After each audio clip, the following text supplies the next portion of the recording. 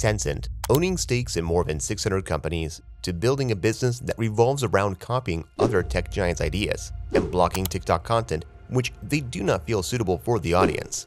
These actions are not part of the state or federal government of a country, but are actions that are taken by one giant company. A company that has now become so big that its authority is in the form of stake. In almost every company we know can bring down the entire world economy with a snap like Thanos. Because from a distance, this organization calls itself a technology and entertainment company. But if you look closer, this bad boy secretly wants to take over the world. In other words, think of the products of the companies that you use. You drive Tesla, it owns a stake in it. You play Fortnite, it owns a stake in it. You love L'Oreal products, it owns a stake in it. You love Udemy courses, it owns a stake in it. You use Snapchat, it owns a stake in it. You love music, it owns a stake in Spotify and Universal Music Group. They control over 15% of the global gaming market share and over 51% of the Chinese gaming market, and is the most profitable company in gaming. More profitable than companies like Sony, Apple, Nintendo, EA, Google, and much more. Now, we can go on and on with its evil objective of grabbing a piece of cake in successful companies, but what we must really find out is the actual vision of Pony Ma There is no doubt why Pony Ma was declared one of the most powerful people in the world in 2018. But with every sip of power he drank, an honest company was forced to give up on its vision. In an interview, Pony Ma himself said, to copy is not evil. And the founder of Pinduoduo said, Tencent won't die when Pinduoduo dies, because it has tens of thousands of sons. So, let's dive deep into Tencent's enormous success of trillion dollar valuation and find out why it loves following anti-competitive practices. So, after completing a Bachelor of Science in Computer and applying to engineering from Shenzhen University in 1993, Ma started working at China Motion Telecom Development Company that focused on providing telecommunication services and products. As Ma was in charge of developing software for pagers, he was only paid $176 per month through which he could barely take care of his expenses. However, a breakthrough in his life was witnessed when he started working at Shenzhen Wunshan Communications Company, where he learned about the emerging market of internet calling services. It was the same period when Israeli company Mirabilis launched the world's first internet instant messaging service called ICQ in 1996. Luckily, Ma participated in the presentation for ICQ, and soon he got enormously inspired by this powerful idea. ICQ was like an old version of present-day WhatsApp, but was powerful enough to spread like fire worldwide. To grab this opportunity, Ma, after getting back from the presentation, contacted four of his college friends, and in 1998, Tencent was founded. Within one year of its launch, Ma and his team invested each day in creating the first product of their business. And in February of 1999, they created a Chinese version of ICQ and called it OpenICQ. Now, despite 90% of the features being copied from the Israeli company, OpenICQ managed to gather more than a million registered users by the end of the same year of its launch. However, before they could celebrate their success, they were hit by a powerful lawsuit by the American online company that bought ICQ from Mirabilis in 1998. In the court, American Online argued that Tencent's domain name oicq.com and oicq.net are in complete violation of ICQ's trademark and thus violate their intellectual property rights.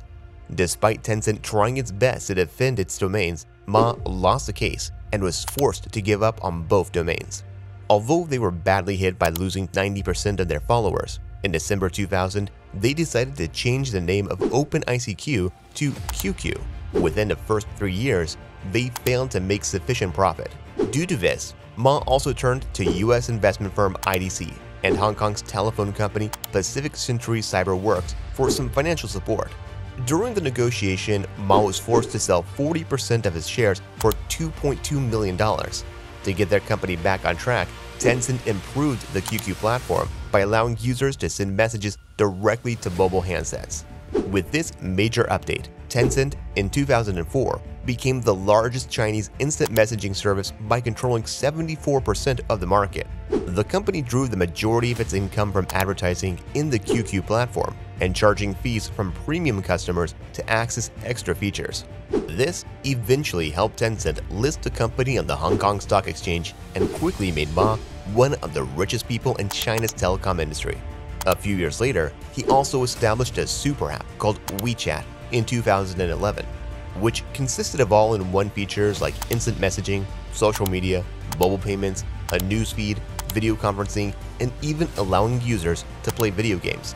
WeChat became an instant success, and today it has over 1.26 billion active users that contribute enormously towards Tencent's revenue. Now, becoming rich was not enough for Ma. He wanted to ensure that instead of making his company live for a few decades, it should survive for centuries. And after selling his 40% shares to investment firm IDC and Pacific Century Cyberworks, Ma realized a lesson he could never forget, which was owning a stake in other valuable companies instead of working hard to create your own products. With all the money in hand, Ma changed his strategy from copying other companies to owning a stake in their organization. Moreover, his strategy also protected Tencent's earlier reputation of copying others and profiting from their intellectual property. From 2011 to 2014, Tencent went on a shopping spree like there was a flea market of companies selling their stakes. In 2011, Tencent began its shopping by acquiring a 92% stake in Riot Games, which is the developer of the famous online game League of Legends. The reason why Ma chose games as a good investment is that the market size of online gamers was increasing at a faster pace, and by 2026, it is going to reach an enormous $321 billion market. So after noticing the gaming industry as a good bet, Ma, in June of 2012, bought a minority stake in American video game company Epic Games, which is the creator of Fortnite. Then in March 2014, Tencent acquired a 28% stake in South Korea's CJ Games. And this was not all. Ma understood the game of ownership stake in other companies, and now he wanted to lay his hands in every corner of the world. So, he started focusing on other industries. In March of 2017, Tencent purchased a 5% stake in Tesla for $1.78 billion. Within a few months, in November of 2017, Tencent acquired a 12% stake in Snap Inc., the creator of Snapchat. Again, after just two months, in January of 2018, Tencent collaborated with Denmark-based The Lego Group, which is the world's largest toy company, to create online games and social networks for children. So, with all its aggressive style of acquiring a stake in other companies and using it to its own advantage, Tencent seems to be focused more on what others are creating instead of innovating its own unique products. The same point was also argued by Alibaba founder Jack Ma. He said, the problem with Tencent is the lack of innovation. All their products are copies. To give clear examples, Tencent created QQ Farm, which was a direct copy of Happy Farm. It created QQ Dance, which was a direct copy of Korea-based Audition Online. Tencent also created QQ Speed, which was also a direct copy of Korea-based Crazy Racing Kart Rider. Although the company did manage to mark its place in the world's top 10 most valuable companies in 2017, what matters the most is the effect you are trying to create in society with your products.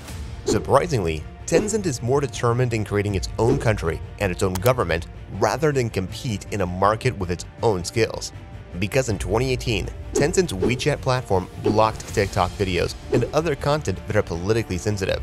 For this, TikTok sued Tencent for spreading false information on its platform and creating unfair competition in the market. Lastly, in December of 2019, the Chinese government also ordered Tencent to improve its user data rules for its apps concerning censorship rules. While speaking about censorship at a tech conference in Singapore, Ma said, in terms of information security management, online companies from any country must abide by a defined set of criteria and act responsibly. Otherwise, it would lead to hearsay, libel, and arguments among citizens and between countries. That's why the need for online management is increasingly urgent. So, what do you think about Tencent's monopolistic approach? Do you think its approach of copying its competitors or investing in other products is healthy for the tech industry? Tell us in the comment section below. And if you have any questions or suggestions, feel free to mention them in the comment section. We'll surely respond to your request. Don't forget to subscribe to our channel and press the like button if you like this video.